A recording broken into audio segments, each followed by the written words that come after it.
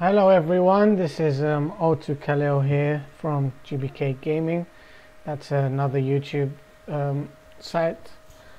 So I'm gonna start making videos quick and straight to the point on how to do simple things on Unity that can sometimes not be that easy to, to work out.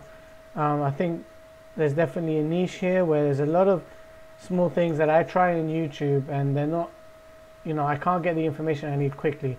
So hopefully I can show you everything in under five minutes and that's my plan. So this video is about how to put this open data privacy page. So I click on it, it loads up, done, boom. This is what you need now for Google Play services. It's the privacy button. So how do I get this? Okay, well, you straight up just um, go to your um, package manager, which should be on window, right? Now, it may initially not load or you might not get everything, so you just go all packages again and refresh and uh, you should get a longer list. Now, it's already on my list. Uh, let me, hold on. Usually more come up. Here we go, see? So, yeah, it could take a while. I mean, I've already downloaded it, but it's just in case it doesn't show up for you. Then, once you've got this whole full list, you go to something called, you may already have it, but in case you don't um, have it installed, you go to Analytics Library, and mine's up to date, but you'll have an install button here. You install that. Once you do that, it will come in your packages folder down here. So if we go into the packages folder, you could see Analytics Library.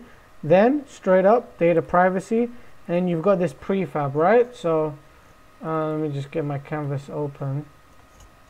Oh, right. Anyway, so all you then do is, and I've already got mine, but I'll just drop another one to show you.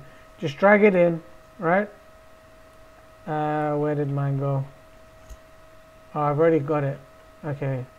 I don't want to mess this up. Hold on. So I've already got mine. Oh, here, where's this one? Okay. Let's stick it in the canvas. There we go. Make sure you put it in the canvas, guys, otherwise it won't appear. And here we go. We've got it now under here. Um, by the way, to, to stick it in the canvas, if, it, if it's out of the canvas like this, you just drag it and then place your mouse cursor over canvas, hold it in, it's in there. Now press play. You can resize it, by the way, here where you see scale 111, you can resize it if you want to. Um, here's mine.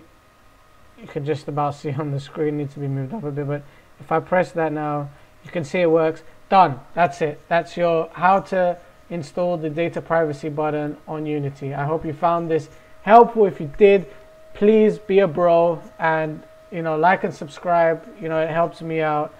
Um, and maybe you can find future videos that have some quick tips as well. Thank you. Take care. Bye.